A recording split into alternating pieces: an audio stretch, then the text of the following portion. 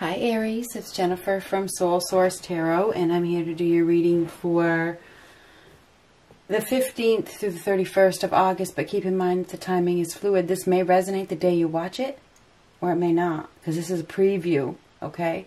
So a lot of people, they think that the day they watch it, they, they watch it and think, oh, that doesn't resonate. Well, these are previews. It may or may not resonate on the day. So this is for Aries, Sun, Moon, Rising, and Venus for you know, from the day you watch it to the end of August, or the 15th to the end of August. Okay? Let's just see what comes up. What do we got for Aries? I feel like you guys are tired. You're tired. You may feel like life has taken you for a ride. Okay?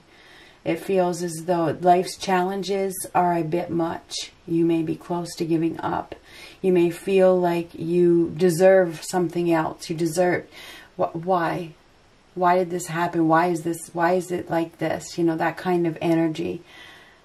The challenges that you have faced have made you into the person that you are. They have built your character.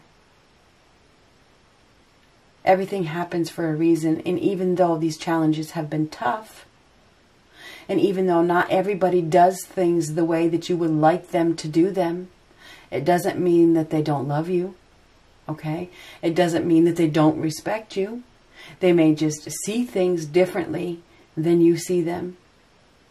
They, they're not you. So I feel like there's a feeling of frustration over people's viewpoints, people's ways, the way they do things. You know, it's not proper. Who's to say what is proper? Your proper may not be somebody else's proper. And the reason I'm saying this is because I did, I had like a little vision before I did this video of the Nine of Wands reversed. This is life challenges. And the, the challenges that you have been through have been insurmountable already. They have been. And I can, and I, and when you get the Nine of Wands reversed, and I don't need the card, I see it. Okay, I see it. You, you're, you've been wounded by other people's reactions, other people's opinions, other people's ways of doing things. And it's challenging to accept. It's challenging to accept, you know, the differences. But that doesn't make you any less of a person or make you wrong or make the other person wrong. I don't know where that's coming from, but we're going to get started. That's it. It's over. Aries. My eyes were closed that whole time. It's about accepting another person for who they are. And not holding a grudge because they don't do things your way. I don't know where that is coming from. Aries, Sun, Moon, Rising, and Venus. What do we got for Aries?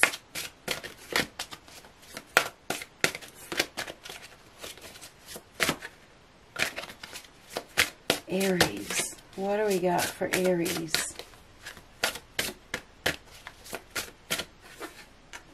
Ooh, the Lover's card. This is fantastic. This is unexpected. Expect the unexpected. You may have a new contract that is starting. Um, this is this is somebody that may not be your usual type. This could this person um, may not fit your usual circumstances. It's funny that that came out. Interesting. Interesting because this person is not your usual. This person is not your usual. So you may have an opportunity to come into union with somebody that is not your usual type. Could happen very, very unexpectedly. Um, now you're going to have to make a decision. Yep, you're going to have to make a choice as to whether, you know, you can overlook the differences because there's an opportunity for a contract here that it could bring you a lot of joy. It could bring you a lot of happiness. It could bring fun into your life. I think this is something that is meant to happen, but you're going to need to uh, reevaluate your standards, perhaps. And I'm not saying that you shouldn't have standards, but, you know, People are different for a reason. They can help you grow. And we talked about growth, and you see the growth. People's differences can help you grow. So I've started this new thing where I close my eyes and give a message. And so that's what just happened at the beginning. Um, so we have an opportunity for love here, but this is this is unusual. This isn't what you expect. It's, this person is not what you expect. They're completely different, okay? Um, could lead to a commitment. This could help you to heal, okay? Could help you this person could help you to heal. This is also a card of consequences. There's, so there's consequences for the decisions that you make. If you choose to be set in your ways, well, then you could lose out on a love connection. You know, you got to be open-minded here. Contract. We definitely have a contract here. These are both contracts. So I think, and, and decision. Decision is big here. So at the end of the month, you're going to have to make a decision. And you should do it with your eyes closed. Okay? Like I just did this. Remember what I just said? I've been doing things with my eyes closed. I And I don't, I mean, I don't even know what Aries is in my chart, put it that way. So I know I have Chiron in Aries, but other than that, I don't know where it is. I'm mostly earth and air. So anyway, you need to do this with your eyes closed. Make a decision based on your intuition, on your gut, on your feelings. Don't do it with what you see on the outside or what you perceive, you know. Use your gut, use your intuition. So yes, you're going to be making a decision, a very prominent decision about some sort of contract at the end of this month my advice is to close your eyes and get the answer that is what your gut wants. Okay? Don't look at it with your eyes.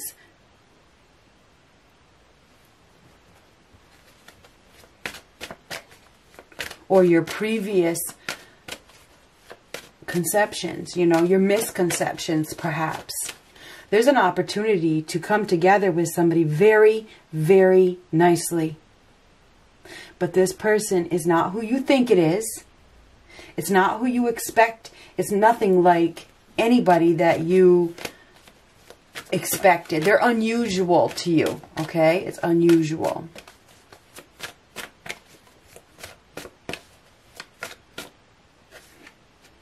Chemistry. There's a strong magnetic attraction here. So if you're worried about attraction, don't be. You will be attracted to this person. There will be some sort of pull, whether it is a physical pull or a magnetic pull or a vibrational pull. Okay, there's going to be some sort of pull towards this person. Absolutely there is. Aries, end of the month, end of August. I guess we'll take this one, these two. Ooh, yikes. Five of Swords and the Ten of Wands. Take a look at that. There's a lot of fear here. A lot of fear. Look at that fear. Oh my God, Aries. I think you're in protection mode. I think that you've been overpowered. Maybe you're feeling like you're overpowered. Maybe you're feeling like you've been defeated. You maybe you feel like it's the end. You may you may feel like it's the end. You may feel like you're up against the world. You know, um, the world is against you. You may feel like that. You may feel like you're fighting a losing battle, and maybe you, you know, that that's thought. Okay, that is a thought. Swords are thoughts. This is overwhelmed. So you are overwhelmed with burden. I think that you are very burdened by the need to protect yourself in some way. Um, you're feeling alone. You probably are feeling very alone. Um, Ace of Rods. So you do have a new beginning here, a new passionate beginning. Five of Rods. We have conflict here. We have conflict. We have tension. There could be even a fight. Okay, there could be a competition. You may be competing with people. Life is not, I mean, it is, right? Life is about competition, but you don't need to engage. You don't need to engage. We definitely have a competition here. We have a new exciting opportunity. Hmm. Six of Cups. the lovers again. So we definitely have an unexpected opportunity for love. Could be with a Gemini. Could be. Um, this is this could lead you got you you could meet somebody suddenly. This could the Ace of Wands is suddenly a sudden match, and this is a match. So you could meet your match or come into contact with your match. But I have to tell you, this person is unusual to you. They may feel foreign. The Hermit reversed. Don't reject them because they're different. Um, King of Pentacles reversed. The Empress reversed. The Hangman reversed. So confusion. Stubborn. We got somebody here that is very, very, very stubborn. And uh, we have death on the bottom of the deck, just so you know. Um, so something needs to end. You're holding on to something and it needs to end. Your challenge is the memories. You got a lot of memories. And I think the memories are of the power struggles that you have endured. This is the memories. That's your challenge.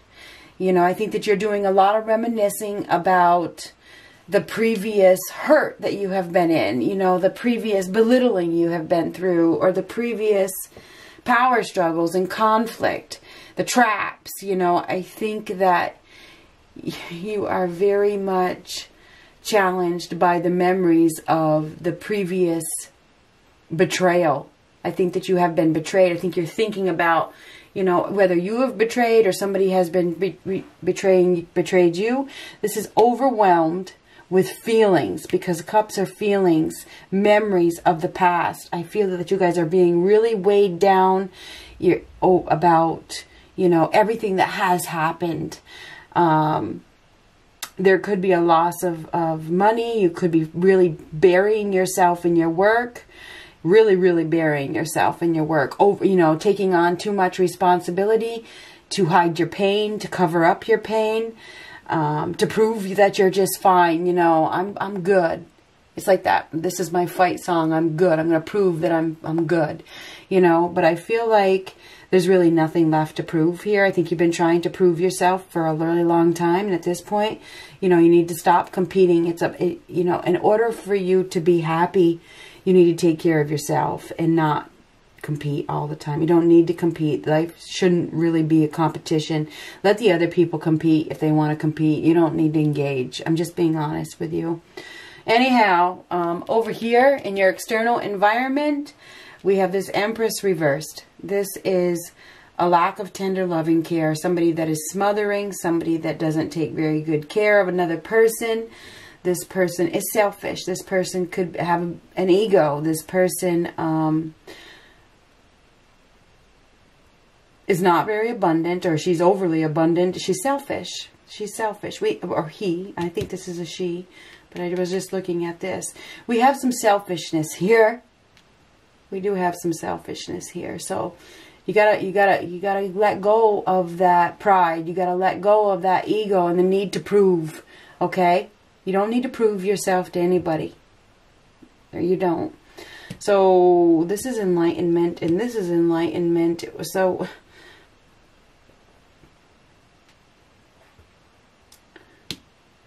your approach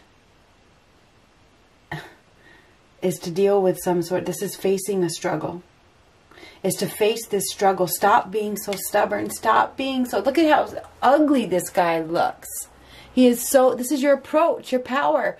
This, the hangman, this is somebody who is stubborn as hell, trying to prove a point. This is your martyr. Okay, this is a martyr. This is sacrifice, limiting yourself. It's time to let go. Somebody has been resisting change. It's time to let go of your old perspectives and see things differently. It's like you're not receiving the tender loving care that you deserve because you're unwilling to budge. You're unwilling to make any changes. It's you're right, and that's the way it goes. And and I and I happen to love Aries. Okay, just so you know. Anyhow, um, right here, hopes and fears, fear of rejection. You may be you may be fearful that you will be rejected. This is rejection. The hermit reversed. Fear of growing old alone, fear of being alone, fear of loneliness. Um,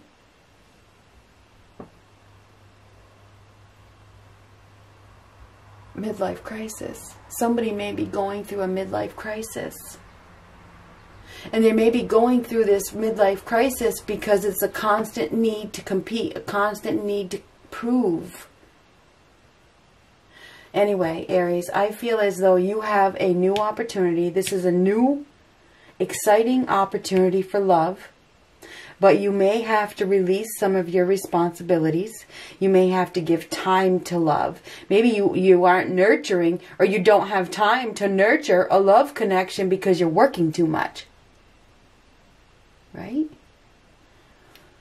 Maybe that's a self protection tactic, a subconscious self protection tactic. Because I feel like you guys have been really, really hurt. And you're you're you just are really afraid. I feel like you're really, really afraid of being rejected. You're afraid of getting yourself into anything where you will be, you know, ghosted or you will be thrown into some sort of competition with another person. What if what if I get myself into a third party situation? You know what I mean? I really feel as though you guys are really struggling to win. It's like you just want to win. And I, everybody wants to win, right? You want to win. But sometimes the need to win can be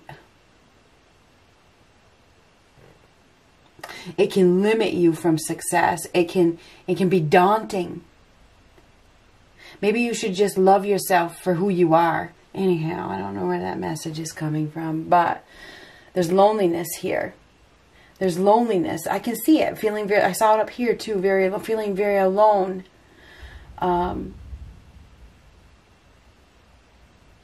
in the near future, there's there's probably going to be some sort of competition in the very near future. You may you may need to compete for somebody that needs you okay? This could be this could be a mother this could be the mother of your children. There i don't know i don't know what this is. Um, there's some sort there's two men competing here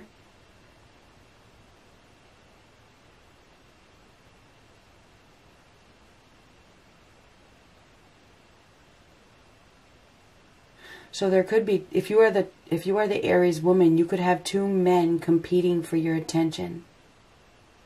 But we got this one right here, doesn't know her value. The Empress in reversed is a person that doesn't know her value. She chases. She chases. She plays.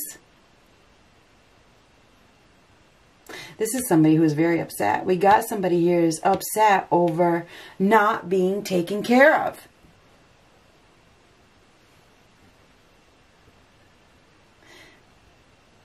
And we have a very stubborn energy here. Very, very stubborn. So we have somebody here that is very much stubbornly holding on to something that really isn't secure to them. It's not stable. And it's time to let go. It's time to let go. It's time to take care of yourself. Know your value. Know your worth. Love yourself. Nurture yourself. Let somebody love you. Stop competing with the Joneses. Stop competing with your competitors. Just do you. Just do you.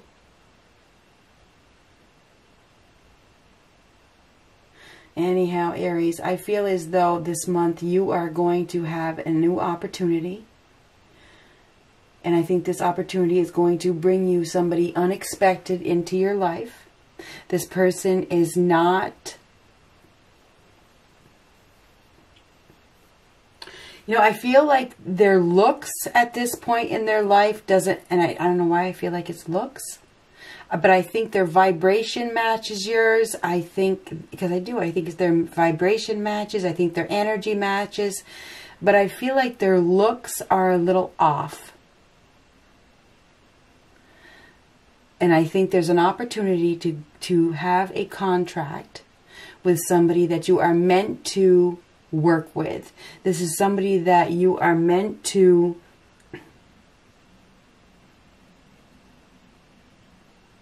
you're meant to deal with this person. And that is a message from myself. I feel like you guys are, are kind of avoiding challenge. And i think this challenge has to do with change you know um, this could be somebody from your past. It could be somebody that from your way way way way way way past. That's what i see. I don't think it's somebody from your recent past. It could be even somebody from a past life.